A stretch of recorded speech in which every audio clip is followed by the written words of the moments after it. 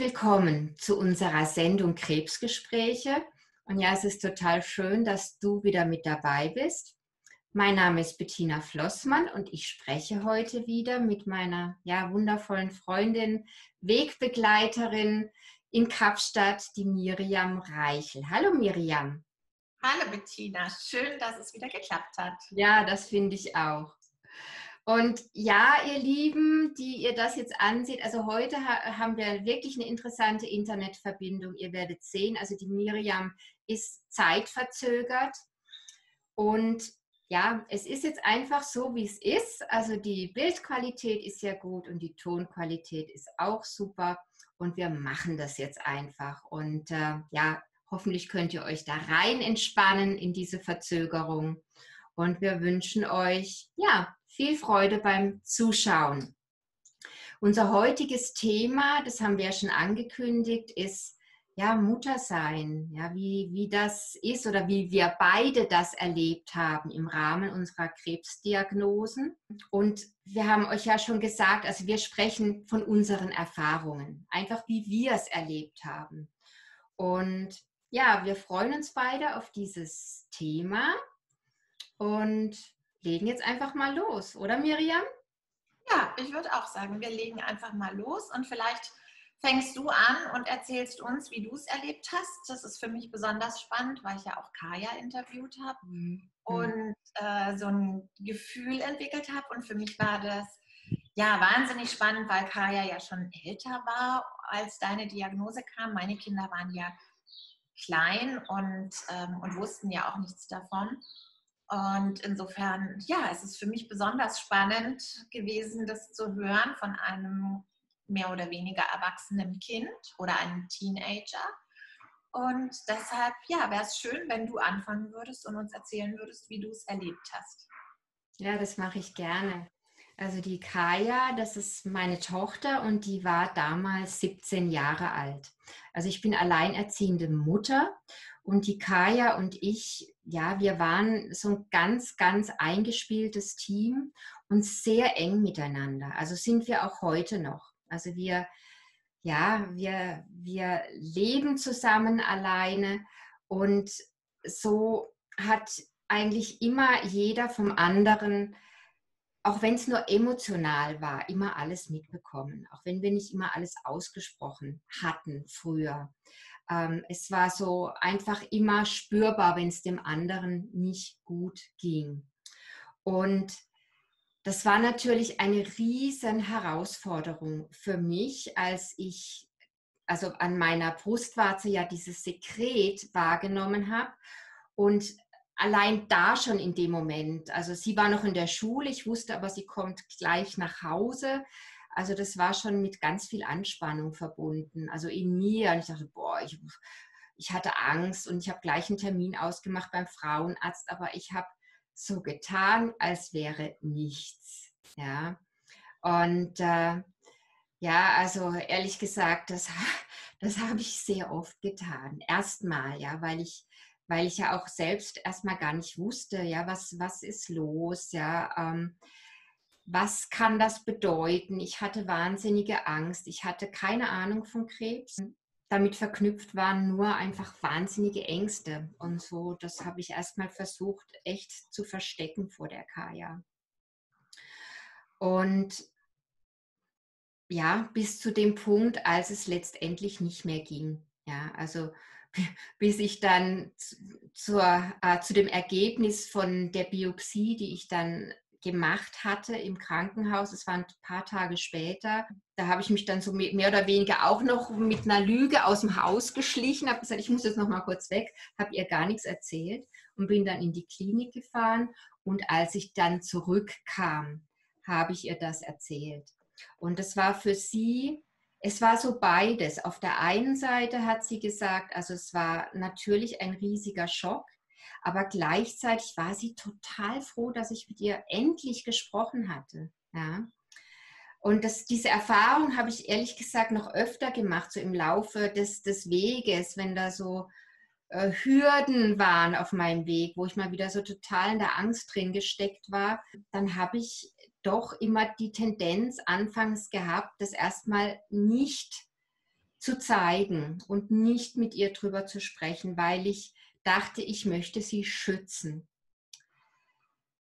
Äh, ja, äh, das war eigentlich gut gemeint von mir, ja, sie schützen zu wollen. Und, und erst so im Laufe der Zeit, als wir dann wirklich so gelernt haben, ganz offen miteinander zu kommunizieren, hat sie mich einfach wissen lassen und mich auch ermutigt, dass sie einfach wissen will, was los ist, egal was ist. Ja, so dieses Nichtwissen, das war für sie immer ganz, ganz fürchterlich. Und also in der Beziehung haben wir auf dem Weg dann eine ganz große Ehrlichkeit miteinander gefunden. Und das war so wohltuend für mich, weil wir leben so eng miteinander, weißt du, Miriam? Und das, das hat so viel entspannt, ja, dass wir da nicht mehr so auf Eierschalen umeinander tanzen müssen, sondern dass es einfach offen war, wenn es dem anderen so oder so ging. Und dass wir auch zu, miteinander weinen konnten und uns einfach immer gezeigt haben. Ja. Also das ist so eine Thematik. Und dann habe ich so, so hingespürt heute auf unser Gespräch, weil wir ja auch so im Vorfeld mal drüber gesprochen hatten, so, ja, also so diese Frage, warum will ich leben und, und wie das so ist als Mutter. Da kommst du ja dann noch dazu mit deinem Thema, ne? also mit, mit deinen Ärzten und wie, die, wie dein Umfeld da so auf dich ja fast Druck ausgeübt hat, dass du leben musst, unbedingt mit den Kindern. Und für mich war es ein Druck, den ich mir selbst ganz, ganz, ganz massiv lange Zeit gemacht hatte. Also der fing letztlich schon viele Jahre davor an, weil ich meiner Tochter in diesem Muttersein einfach Leid ersparen wollte vielleicht liegt es so in, in uns Müttern drin, so dieses unsere Kinder schützen wollen, so im Nest haben zu wollen. Und ich wollte die Kaya vor allem beschützen. Und das war sehr herausfordernd mitunter, weil es mir, mir natürlich nicht gelungen ist. Ja. Da waren Herausforderungen, äh, ja, bei uns auch im Dorf, in der Schule. Und sie ist ja ein farbiges Mädchen. Und das war wirklich sollte man nicht glauben, hier bei uns in der Waldorfschule auch, das war, war ein großes Thema und war wirklich mit Herausforderungen verbunden. Und da gab es einfach Leiden. Ja. Und das war für mich ganz furchtbar, weil ich immer mitgelitten habe mit ihr. Schrecklich, ja, also dieses, ja, ich, also ich habe das immer auf mich auch genommen, so dieses, ja, wenn es ihr nicht gut ging, habe ich mitgelitten. Und als diese Diagnose dann natürlich da war, da wurde so ein ganz tiefer Schmerz getriggert, weil, weil ich irgendwo wusste, boah, ich, ich kann ihr dieses Leid nicht ersparen. Und da ist so was ganz Wichtiges geschehen für mich und vielleicht auch für uns beide, weil ich habe gemerkt, ich, ich muss ihr diese Verantwortung geben, ja, für ihr Leben und für ihre Gefühle und wie sie, wie sie mit dieser Situation umgeht. Und das Gleiche, ja, das war ihr persönlicher Weg, war nicht leicht, ähm, hat sie für sich auch mir gestattet über die Zeit. Also sie, sie musste für sich an den Punkt kommen und sagen, boah, also die Mama, die geht ihren Weg, auch wenn ich das jetzt vielleicht äh, anders machen würde und, und mir vielleicht anders wünschen würde, weil die Angst natürlich auch in ihr so groß war. Aber sie konnte mir zugestehen, dass das mein Weg ist und dass sie mir da einfach vertrauen muss. Und was auch noch wichtig ist, äh, ja, also zu, zu diesem Thema Tod, also natürlich wollte ich für meine Tochter auch leben, ganz klar. Aber also ich wollte nicht in dieser ähm, aus dieser Verantwortung heraus, dass wenn ich es nicht schaffen sollte, dass ich dann gescheitert bin und, und meine Tochter dann ein schreckliches Leben vor sich hat, weil sie dieses Leid ertragen muss. Und da habe ich mir immer wieder auch meine eigene Geschichte hergeholt, weil mein Vater, der hat sie erschossen. Da war ich 16. Also ein ähnliches Alter auch. Und ja, das war echt furchtbar. Und es war eine ganz schwere Zeit. Aber ich habe es überlebt, Miriam. Und ich bin gewachsen, auch durch diese Erfahrung. Und ich konnte und kann auch heute, ja, das hört sich jetzt vielleicht komisch an, ich kann auch Gutes darin sehen, dass das genauso war, wie es damals war, weil ich einfach Dinge gelernt habe und Schritte gegangen bin in meinem Leben, die wäre ich wahrscheinlich nie gegangen. Ja, daraus ist einfach ja, so ein, so ein Vertrauen in mir, dass alles gut so ist, wie es ist. Und auch wenn es so gewesen wäre, ja, dass ich damals gestorben wäre, als die Kaya 17 war, sie hätte es überlebt. Ja. Und das hat mir irgendwie geholfen, so diesen inneren Druck, diesen wahnsinnigen Druck und Schmerz einfach loszulassen und stattdessen zu gucken, ja, wofür will ich denn auch leben? Weil es kann ja auch eine Belastung für die Kinder sein, ja, wenn die Eltern nur für die Kinder überleben. Also ich glaube, das ist nicht so ohne auch für die Kinder. Wenn die, wenn die Kinder dann auch mal äh, in Anführungszeichen nicht so funktionieren, wie sich die Eltern das vorstellen, dann ähm, kann ja direkt der Grund wegfallen. Genau. Also es gibt ja, es ja. Gibt ja genügend ähm, erwachsene Menschen, die keine, kein gutes Verhältnis zu ihren Eltern haben. Und wenn wir uns jetzt da mal selbst oder ja, jeder kennt wahrscheinlich irgendjemand, der kein gutes Verhältnis zu seinen Eltern hat. Wenn all diejenigen Eltern jetzt keinen Grund mehr hätten zu leben, das wäre ja auch Wahnsinn. Also auch dieses Gefühl zu haben als Kind, man muss irgendwie ein gutes Kind sein oder äh, damit die Eltern einen Grund haben zu leben, ist ja schrecklich. Ja, ja ist schrecklich. Ja. Aber ja. gibt ja keine Freiheit mehr. Ja, ja, ja. Ja, also das ist so, so aufgetaucht jetzt so im Hinblick auf unser Gespräch heute. Da habe ich nochmal so hingespürt. Und ich bin sehr dankbar heute für den Weg, den wir miteinander gehen, weil es uns in eine unglaubliche Ehrlichkeit miteinander gebracht hat. Ja, also über diesen Weg. Wir haben noch mal eine ganz andere Beziehung heute miteinander. Und für sie ist es sehr befreiend, dass ich, also für mich auch, auch ja, so, ein, so einen Sinn in meinem Leben gefunden habe, was wofür ich wirklich brenne und was mir Freude macht. Und, und das kann sie einfach sehen, ja, wie gut es mir heute geht. Und da kann sie mich jetzt wirklich lassen auf meinem Weg. Wir können uns beide lassen und sind dennoch nah. Also ja, also ein, ein, schöner Weg, finde ich, den wir jetzt so miteinander gegangen sind, die Kaya und ich. Ja. Ja, Miriam, und, und deine Kinder, die, ich meine, die sind ja mittlerweile groß, aber ja, wie, ja. wie, war das damals? Magst du mal erzählen? Also ganz, ganz anders. Mein, mein, mein Kleiner war ja zwei und mein Großer fünf. Und ich habe mich ja damals auch bewusst entschlossen, dass ich das meinem Umfeld nicht sage. Also ich habe sehr wenige gehabt. Ich habe es auch meinen Eltern und meinem Bruder sehr spät gesagt. Ähm, also eigentlich erst, als es nicht mehr ging.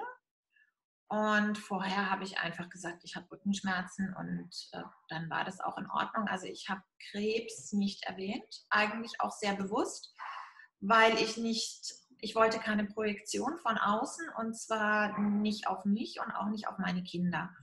Und ähm, ich weiß, als ich meine Eltern getrennt haben, hat mir das jemand im Supermarkt gesagt. Also der hat einfach so gesagt, ähm, ja, so, so, ich weiß nicht mehr, wie der Satz war, aber so nach dem Motto, sind deine Eltern jetzt eigentlich schon geschieden? Und was ich nicht wollte, ist, dass meine Kinder irgendwann im Supermarkt stehen und irgendeiner sagt, ist deine Mutter jetzt schon an Krebs gestorben oder wie geht es denn dem Krebs deiner Mutter oder ähm, oh du armes Kind, äh, jetzt hast du einen Pflegefall zu Hause oder irgendwie sowas. Also ich wollte das nicht. Ich wollte das, ähm, ich wollte gar keine Projektion und ich wollte auch nicht, dass meine Kinder davon ausgehen, äh, dass irgendwelche Krankheiten unheilbar sind oder dass es äh, Situationen gibt, aus denen man nicht herauskommt. Und deshalb war also Krebs kein Thema. Und ich habe es auch nicht ihnen gar nicht gesagt. Der Große hat natürlich mitbekommen, dass es mir oft nicht gut ging. Das war auch keine Frage. Der hat dann auch manchmal gefragt, ob ich sterbe. Und ich habe ihm dann immer gesagt, ich sterbe nicht heute und ich sterbe nicht morgen. Was ja auch damals so war. Und über übermorgen haben wir auch nicht gesprochen. Und damit war es für ihn eigentlich auch in Ordnung. Und dann hat er immer gesagt, gut. Und dann war das Thema für ihn vorbei. Und ich fand das auch wichtig. Also ich wollte einfach, dass meine Kinder da unbelastet aufwachsen. Und ich hatte eine Freundin, die gleichzeitig mit mir Krebs hatte und auch kleine Kinder. Und die hat es ganz anders gemacht. Also die hat es denen immer erklärt. Die war auch religiös. Die hat eben gesagt, dass sie bald ein Engel sein wird. Und die Kinder haben also auch immer Engel gemalt und die hingen dann am, am Kühlschrank. Und immer wenn ich an diesem Kühlschrank vorbei bin, habe ich meine Freundin als Engel gesehen. Und ja, ich fand es auf eine gewisse Art sehr mutig, aber es war jetzt so gar nicht meins. Also ich habe meine, meine Erkrankung danach, auch als ich geheilt war, habe ich mit, mit niemandem großartig darüber gesprochen und alle, die ich neu kennengelernt habe, die wussten auch nicht, dass ich Krebs hatte. Und damit war das eigentlich auch nie ein Thema bei uns. Also es gab das nicht, dass Freunde da waren und beim Abendessen irgendwas gesagt haben oder so. Und mein großer Sohn oder mein kleiner Sohn hat es dann erst erfahren, als, ich 14, als er 14 war. Und der große war dann 17. Und dann war es auch nicht weiter tragisch. Also die haben dann das praktisch, die haben dann eigentlich immer so gesagt, naja, meine Mutter hatte halt Krebs im Endstadium und jetzt ist sie halt wieder gesund. So ist es eben wenn man das so hat. Und, ähm, und das fand ich auch eigentlich, dass es die richtige Einstellung ist.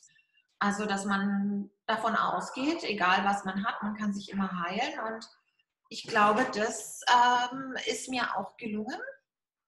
Und was ich aber sehr schwer fand, war doch das Umfeld, das eben wusste, dass ich krank bin.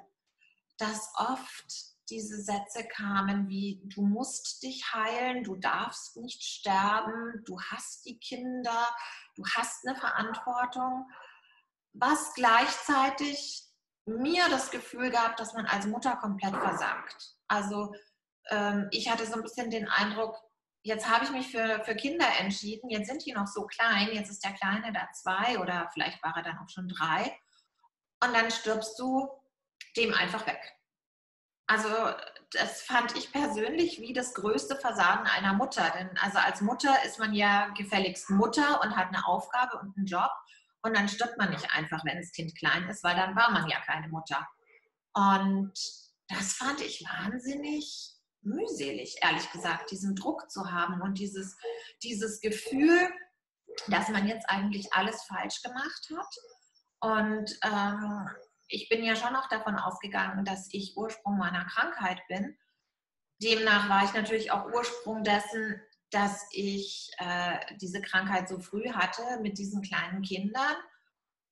Und damit wurde das schon schwer, was ich da sozusagen als Mensch veranstaltet habe. Und mein Homöopath hat mich dann da sehr gut rausgebracht. Der hat ähm, später, als ich dann meine acht Wochen Prognose hatte, hat er eben gesagt, welche Ziele ich habe, was ich vom Leben will. Und dann habe ich, wie das eben die meisten so machen, natürlich gleich gesagt, ich will mein, das Abitur meiner Kinder mitbekommen, ich will meine Kinder äh, oder sehen, wie mein Mann die Braut zum Altar führt. Ich will meine Enkelkinder sehen und halt, was man sich da so vorstellt. Und natürlich will ich mit meinem Mann alt sein. Und dann hat er sehr frech gesagt, äh, wer weiß, ob es gut ist für deinen Mann, wenn er mit dir alt wird. Und wer weiß, ob es gut ist für deine Kinder, wenn, wenn du sie aufziehst. Das ist deine persönliche Idee. Und das ist kein Ziel. Du kannst nicht für sie leben, weil das gleichzeitig impliziert, dass sie sich gefälligst anstrengen und dann auch in deinem Sinne leben. Und das fand ich ehrlich gesagt ziemlich unverschämt. Und ich, ich fand jetzt äh, schon, dass mein Mann gefälligst das ganz toll finden soll, wenn er mit mir zusammen ist. Ähm, findet er ja hoffentlich auch immer noch, 25 Jahre nach Eheschließung. Ähm, aber es hat mich auch wahnsinnig äh, befreit einfach. Dieses, dass man das einfach nicht weiß. Also man weiß auch als Mutter nicht, was ist gut oder was ist schlecht für das Kind ähm, es hätte nach mir, mein Mann hätte eine sensationelle Frau heiraten können, die alles tausendmal besser macht als ich, ja, das hätte auch sein können. die vielleicht meinen Kindern viel besser entspricht, die vielleicht eine ganz andere Überzeugung hat ähm, und die sich vielleicht nicht so verhält. Und ähm, insofern, ja, weiß man das nicht und das befreit. Und was ich auch wichtig fand zum damaligen Zeitpunkt, dass ich als, als also ich, meine Kinder waren gewünscht und äh, ich hatte mir das auch genauso vorgestellt. Was ich aber mit den zwei kleinen Kindern noch nicht so ganz wusste oder den Zustand, den ich noch nicht so kannte, ist, dass man selbst nicht mehr so ganz existent ist. Also ich meine, die Kinder weinen nachts, man steht auf. Ähm, also man ist ja nur noch, der Hund muss raus, der Ehemann hat Hunger. Also man, man macht eben alles, um diese Familie auch irgendwie happy zu machen, aber es stellt sich eigentlich nicht die Frage, äh, will ich gerade aufstehen oder bin ich müde? Will ich mein Kind zum Kindergarten bringen oder will ich meditieren? Also diese ganzen Sachen existieren ja nicht mehr und das ist auf der einen Seite wunderschön, aber andererseits ist das, das Ich und das Ego in dem Moment sehr, sage ich jetzt mal, verwahrlost. Außer man, ähm, außer man macht es, gestaltet es eben anders. Aber ich habe schon gemerkt, dass ich mich zu dem Zeitpunkt so ein bisschen in der Familie aufgelöst habe. Also ich war eben derjenige, der all das tut, derjenige, der schaut, dass alle gesund essen, dass alle das Richtige machen, dass, was weiß ich, die Kinder richtig krabbeln, richtig lesen, richtig schreiben und habe mir da auch einen gewissen Stress gemacht und, ähm, und, und ja, ich selbst war eben auch nicht mehr so enorm vorhanden.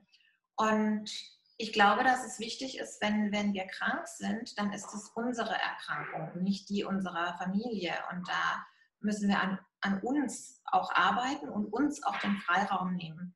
Und das konnte ich eigentlich dann, als ich erkannt habe, die Kinder sind die Kinder, die sind mit mir glücklich oder ohne mir glücklich oder mit mir unglücklich oder ohne mir unglücklich. Das hat auch was mit den Kindern selbst zu tun. Und ähm, ob ich jetzt sterbe oder nicht, ob das jetzt gut oder schlecht für die Kinder ist, ist nochmal eine ganz andere Frage, die ich auch nicht beantworten kann. Und wenn ich leben will, dann muss ich das für mich tun. Und mein Homöopath hat mir ja dann auch damals gesagt, ich soll mir diese Ziele setzen, meine eigenen höchstpersönlichen, was ich enorm schwierig fand. Und ich habe die Couch äh, tief durchgesessen und lange überlegt und war auch erstaunt, dass ich jetzt gar nicht das so wusste. Also ich glaube, man denkt ja immer, man weiß, man weiß das und man, man hat oder man denkt gar nicht drüber nach. Und in dem Moment, wo es dann kommt, welches Ziel hast du, warum willst du leben, wenn alle Plattitüden gesagt sind und man tatsächlich selbst wissen muss, warum man leben will, dann wird es manchmal schwer. Ich fand es sehr schwer und ähm, ich habe eine Weile gebraucht und habe meine Ziele alle verwirklicht. Und für mich persönlich war es das Wichtigste, dass ich meine Ziele habe, die ich verwirkliche und dass ich nicht verwirkliche, dass mein Sohn mit irgendeiner hübschen Braut zum Altar geht und äh, sozusagen das tut, was ich mir so vorstelle. Also das ist sehr wichtig gewesen für mich. Und ich muss sagen, dass ich hoffe, dass ich gelernt habe, wenn ich mit Kranken umgehe, dass ich ihnen dann nicht dieses Gefühl gebe von, du musst, weil, du solltest, weil, ähm, es ist wichtig, dass. Das sind alles Dinge, die, die muss man selbst entscheiden und man weiß auch gar nicht, warum derjenige das so erlebt und je nachdem, welcher Theorie wir uns da anschließen, also wenn wir jetzt meinetwegen glauben, die Seele hat einen gewissen Job auf unserer Erde, oder äh, die Materie will etwas lernen, dann können wir uns da auch eigentlich nicht einmischen. Und dann müssen wir denjenigen auch so lassen. Und es ist natürlich nicht einfach, also das habe ich auch bei meiner Schwiegermutter gesehen, die ist ja dann gestorben an Krebs, sich da nicht einzumischen und nicht zu sagen, Süße, jetzt komm, mach, tu, so geht's, so geht's, so geht's, weil so geht's für mich, aber so geht's vielleicht nicht für sie. Und da müssen wir oder ich habe gelernt, dass ich da mich zurücknehmen sollte und dass ich ihr nicht das aufdrücken darf, was ich so denke, um nicht das Gleiche zu tun, was die Menschen mit mir gemacht haben. Und es ist einfach mühselig. Also mich hat einmal eine Freundin angerufen und hat gesagt, du darfst nicht sterben. Und du, sie hat es noch anders gesagt, du kannst doch nicht so einfach sterben.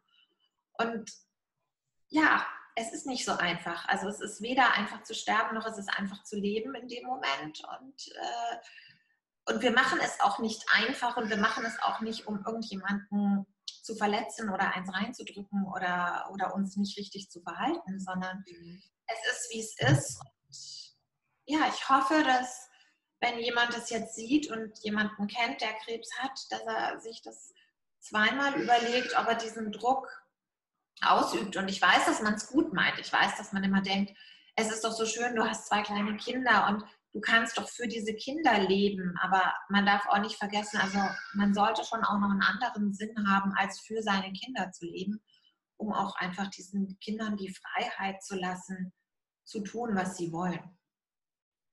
Und ja, ob das dann mal mit uns ist oder gegen uns, das bleibt dann dahingestellt. Und also ich hoffe jetzt nicht, dass, oder ich weiß, dass meine Kinder nicht denken, äh, meine Mutter hatte mal Krebs, jetzt muss ich mich ordentlich benehmen, äh, weil dafür haben sie es viel zu spät erfahren und denken auch, dass man das äh, hat und dann eben auch löst.